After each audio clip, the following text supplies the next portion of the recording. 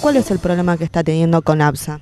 Y nosotros del, del 24 a la noche nos quedamos casi todo el 24 sin agua, viene un poquito a la noche y, y, y nada, cargamos un poco la pileta y hicimos reclamo, todo, pero no, nadie te llama, nadie te dice nada. Solamente un número reclamo y listo, que vaya.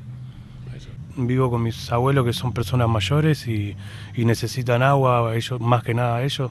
Así que bueno, eh, ese es el gran problema que tuvimos y más con estos calores.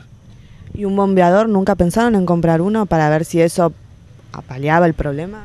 Y tenemos agua corriente, no sería lo lógico, pero bueno, se, aparte se, se, está abonando la, la factura se paga el agua, no es que no se paga. El, el servicio lo están implementando ellos y lo están ma, mal implementando. Así que bueno, el, ese es el problema que tenemos nosotros con el agua. ¿En ningún momento del día se puede cargar agua en el al tanque? No, no, solamente a la noche se puede cargar un poquito acá la pileta y con eso nos mantenemos. Eso es lo que pasa. ¿Y qué otros problemas le trae, aparte de, bueno, a, más allá del calor y que no se pueden refrescar o higienizar? y el agua la necesita para todo, para, para cocinar, para todo, más que es agua corriente, la precisa para todo. Y ese es el gran problema que tenemos, que no que aparte le querés pedir a un vecino, tampoco tiene, estamos en la misma, tiene que andar gastando en, en agua, agua mineral, tienes que andar gastando dinero que muchas veces uno no lo tiene. ¿Y APSA nunca más dio respuesta sobre esto? No ha llamado nada, no ha dicho nada, solamente el número de reclamo y nada más y es el agua. Se levanta uno a agarrar agua.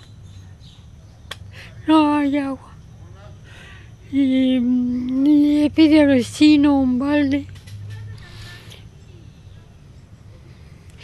Y el vecino le da, pero no, no, no le da siempre. Buenas tardes. Este, ¿Todos los años tienen este problema con el agua? Todos los años. ¿Eh? Todo, todo el verano. Tarde de la noche, si no la juntas un poquito, se corta de vuelta a las 5 de la mañana hasta las 12 de la noche de vuelta. Entonces no, no hay agua. ¿Hizo el reclamo frente a? Algo para el agua, si no, no podés. Una especie de motor para que extraiga el agua. Y sí, algo, algo, pero antes no era tanto, antes se cortaba, pero no tanto. Pero ahora se corta tantas horas. Viste, hace mucho calor. ¿Y cuántas personas viven en su casa?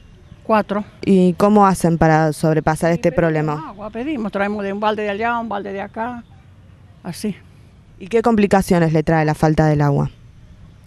Y todas, madre, porque tienes que tener agua limpia, tienes que bañarte, tienes que lavar. ¿Cómo haces si no tienes agua? También que nosotros ya como estamos precavidos, si tienes que comprar el agua para tomar y poner en la heladera, pero no, no se puede así porque hace mucho calor y tienes que bañarte. Yo tengo, eh, somos cuatro personas grandes, los muchachos son grandes que trabajan en la construcción y que vienen todos sucios y que tienen que bañarse. No podés estar sin agua. El baño, ¿cómo tiras el agua? ¿Dónde traes tanta agua para tirar al baño?